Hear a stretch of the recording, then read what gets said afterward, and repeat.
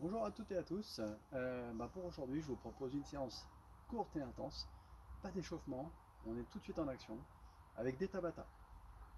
Le premier tabata que je vous propose, c'est donc 20 secondes de travail, 10 secondes de récup sur 8 tours. On va faire un tabata gainage avec des remontées coudes pendant les 20 secondes, gainage coude pendant les 10 secondes. Le deuxième tabata que je vous propose, c'est un tabata squat. Donc très très simple, pendant les 20 secondes d'effort, les squats maximum. Les 10 secondes de récup, vous les faites soit en récup normal, soit en pause squat, donc on pas du squat.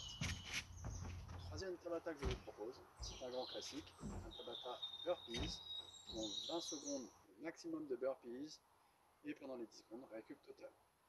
Je vous propose ensuite un quatrième tabata, on va faire du hollow hold, donc du gainage sur le dos. Donc pendant 20 secondes, on fait du hollow rock, 10 secondes de hold. Et ça, pendant 8 tours. Et eh bien voilà, j'espère que cette séance vous a plu. Petite mais intense. On se retrouve demain. Bonne fin de journée. Au revoir.